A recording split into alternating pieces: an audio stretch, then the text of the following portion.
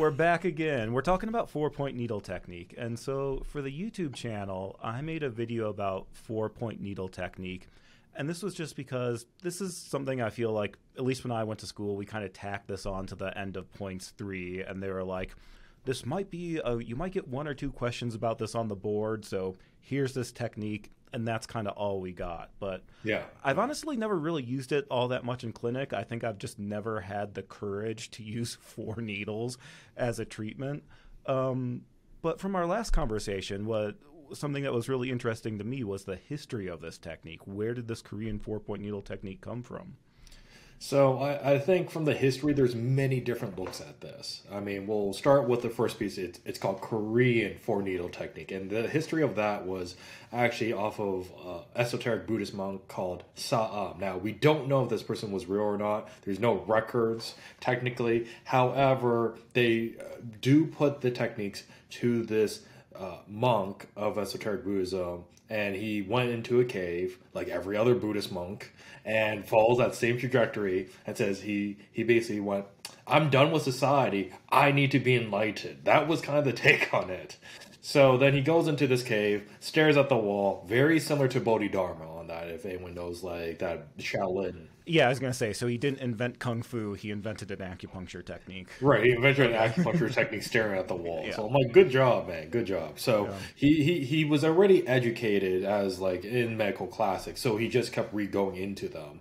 And then, you know, strange things happened. He got illuminated. He comes out of the cave and he says, I got this four needle technique. And then he starts applying it. Now, history has a way of making people forget things, and we don't have any historical records. That's the mythology around it and then closer toward I, I can't remember the date but closer to like our modern era like 19 something uh, a korean scholar starts looking into these legends and mythologies of sa'am and starts to formulate well does this relate to the i ching in the book of changes do, how do we actually use these techniques in a practical way so he starts to map things in a way where uh, they are connected to psychological states and states of the mind. Going back to that, this system is used to cultivate um, enlightenment. So he starts breaking it down that way and starts experimenting, and then we have at least five, uh, four different charts, I should say, of how to use these techniques. The tonification and sedation, that's very common in TCM.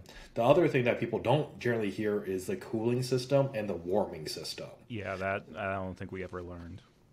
So that's where you get that idea of this yin and yang balancing within the system, and it's been mapped to these five shu points, each representing an element, representing a fractal within oneself, and the organ connections of how they can work together. And then again, that's a Korean side of things. However, about the same time that this Sa'am legend comes about, we also have people in Japan talking about something very similar. So we don't know historically if there was an overlap, if there was one person in particular. And then if we look at China, we have the Nanjing with the difficulty uh, classics of difficulty there, where they have this discussion and they start breaking it down that way too.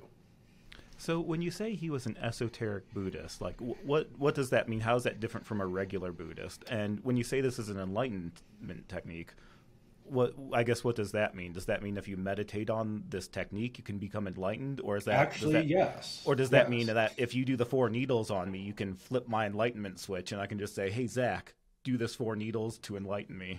Actually, it is like that. It is closer to what you just said, Nicholas. So this is where I mean we we can break this down into uh, many different facets. So the first thing, what is an esoteric Buddhist monk? It's actually a monk that actually can get results. That's the first thing I'm going to say. They can do uh, priestly rites and they could act as a conduit for um, essentially the Buddhas and Bodhisattvas and other spirits in the Buddhist realms, and they can actually provide blessings that are results driven. So, so, that, so, that's different than just following the Four Noble Truths or correct reading the philosophy. You're like this is someone that actually walks the talk and could be viewed as a Buddha or Bodhisattva on this physical okay. plane because they've trained their skill sets uh, to become that. So okay. that's where he's coming from first and foremost as an esoteric Buddhist uh, sect of practice of Buddhism. Uh, it does have the philosophical pieces like the Four Noble Truths. We can connect that to actually the Four Needle technique, actually, too directly, mm. and um, that's on the higher sphere within the Buddhist tradition. And um, when it comes down to more of a mundane level, this is on the point where you can recognize these points within yourselves. And Cao meditated and didn't really do the needles. He just meditated on the points because remember, two points are for tonification, two points are for uh, sedation. So if you understand that concept, inhale is tonification, exhale is sedation. So you can meditate on two points on the body, whatever those tonification points are, and you can exhale at the points where um, you're sedating. And that is a Qigong technique directly. This is why it is an enlightenment system within Buddhism to ease the suffering, because you can directly work on yourself first and foremost to recognize what those reactions are. Then you can replicate that and do that on somebody else. So when you use this technique in clinic, like what situations would you use this technique as opposed to any other technique that we could use. Like if I if someone has spleen qi deficiency, I could just